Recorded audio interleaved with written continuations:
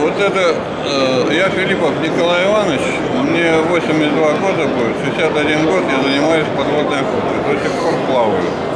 И кроме того, я еще конструировал оружие, это было мое основное хобби. Вообще я по образованию инженер авиаприборостроения, вот, и очень э, любил конструировать оружие. И вот мое последнее ружье, это вот ружье двухстволка которая сделана из титана.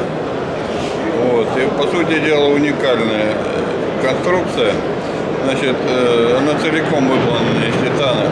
Здесь два ствола, значит, диаметр стволов 10 миллиметров, гарпуны семерки и очень простое по конструкции. В общем, у него деталей меньше, чем э, в известных оружиях, там Галатея и прочее это ружье эффективно. И идея вот создания ружья двухствольного мне пришла в голову после того, как я поохотился на Каспий, на, на кефаль.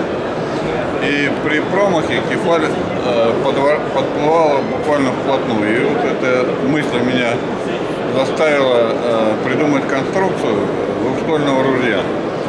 Оно эффективно на пристайной охоте и при охоте на крупную трофейную рыбу. Вот. И кефаль, естественно. Ну, на кефале я не попробовал, вот, а лещей тайных я стрелял. Ну, тут один недостаток, э, говорят, что гарпуны путаются гарпуны. Ну, в общем-то, возможно это. Но все дело в том, что надо, все правильно, надо отводить эту рыбу, которую я стрелял, в сторону. И потом все равно два леща убить лучше, чем одного.